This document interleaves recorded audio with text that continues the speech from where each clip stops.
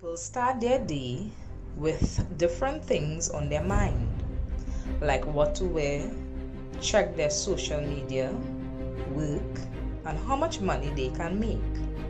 Not putting God first, and suddenly, in a moment, they will die, and the people will be troubled at midnight and pass away, and the mighty will be taken away without a hand. This is why you need the midnight prayer.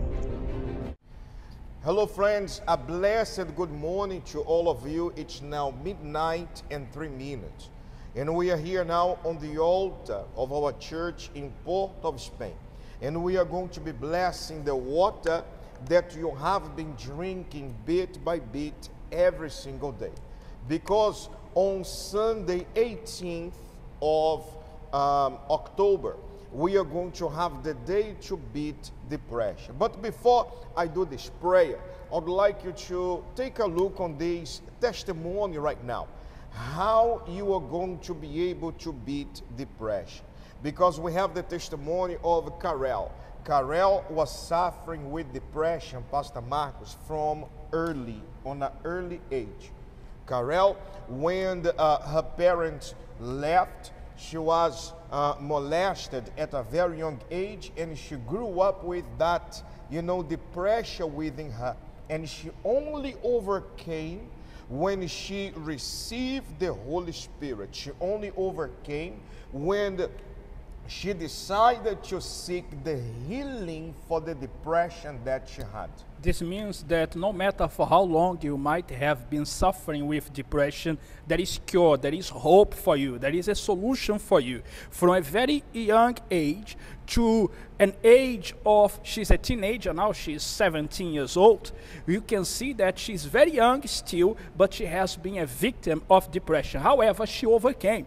No matter how old you are and for how long you might have been suffering with it, you are going to overcome as well, but you have to follow the steps that she followed in order for you to see the results that she saw.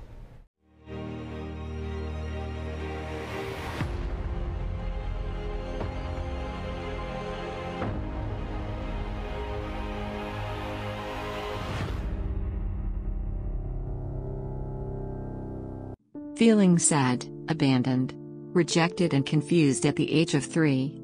Also being molested at age four. She was rejected and suicidal by the age of five. Not knowing what to do, blaming herself for her family problems. This story that you heard before, this was my story. Good day, my name is Carol and I suffered with depression. My depression started when I was three years old. It started when my family separated, my parents divorced, and I had a lot of insecurities and neglect from everybody. I always blame myself for the situations that was happening at home for my parents separating because they will always argue about me. So I always closed off myself and I would pretend that I didn't know what was going on at home after a while, my mom decided to leave home and she moved around a lot with my siblings and I. Whilst moving around, we went to different family members and I was neglected by everyone. Throughout this time, at the age of four, I was molested. And this caused my depression to increase even more to the point where I would mask the pain that I would feel and instead of going to my parents, to my mom, because I didn't want to cause another problem, I didn't want to speak about it because I already felt that all the problems that was happening was because of me. So instead, I would mask everything, and at night, when everybody else fell asleep, I would cry the entire night. And this happened for months. And eventually, my mom decided she wanted to move from there again, so we moved to another family member and I was abused physically, emotionally, mentally, every way possible by close family members. And what caused it to depression to come down even stronger on me was when my mom decided to drop me by my aunts. And in my head, I was telling myself that not even my mom cares about me, that she would simply give me up without a second thought. And living by my aunt, I began to contemplate suicide because my aunt suffered with a lot of anger problems too, and she would lash out. And I would continue blaming myself and telling myself that I came into her life to cause even more problems. So at the age of five is when I started to contemplate suicide. Going through this, I was still neglected by people and I would try to find love and happiness in everybody else. So I began stealing because I wanted to feel that happiness. I wanted to be accepted by friends. So I began stealing from my aunt. And when she found out, that caused her to be, get even more angry to the point where she wanted to kill me. And at the age of seven is when we were invited to the church. I came to the church when I was seven years old with my aunt, and despite being in the church, there was still a lot of pain and anger and grudges that I held against family members because I wasn't ready to forgive them because I blamed them for the life that I had before. And I was in the church for five years before I decided that the void that I had inside, I wanted to get rid of it. And I always heard from the pastors in the services, in the YPG meetings, every time I always heard that this void that I had inside, it couldn't be filled by the joy that people could give or the temporary joy that is offered. But the only thing that could fill that was the Holy Spirit. And that is when I decided to start to seek for the Holy Spirit. I called everybody that hurt me and I asked for forgiveness. I began to forgive those who I couldn't reach out to but more importantly, I had to forgive myself. After I was able to forgive myself, I began seeking for the Holy Spirit. I began wanting more. And when I received the Holy Spirit, that void was filled. And today I am no longer sad, I'm no longer depressed, I'm no longer insecure, but instead, today I have the joy of the Holy Spirit. And I overcame my depression.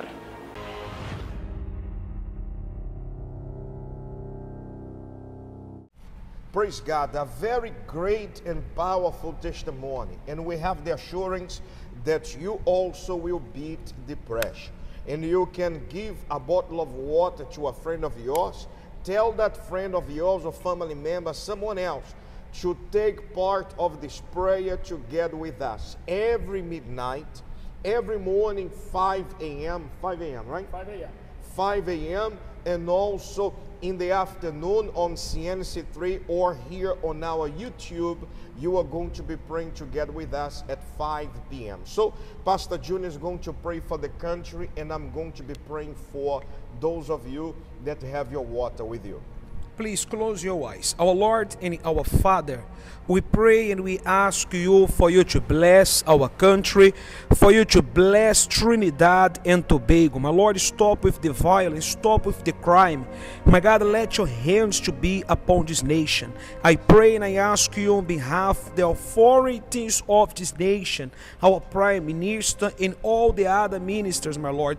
I pray for you to strengthen them, give to them your wisdom, your knowledge. I pray on behalf of the teachers, the nurses, the doctors, my Lord, the police officers, each one of them protecting their lives and give to them strength in order for them to provide the best for Trinidad and Tobago. My God, we also ask you to bless and consecrate this water that your people have with them.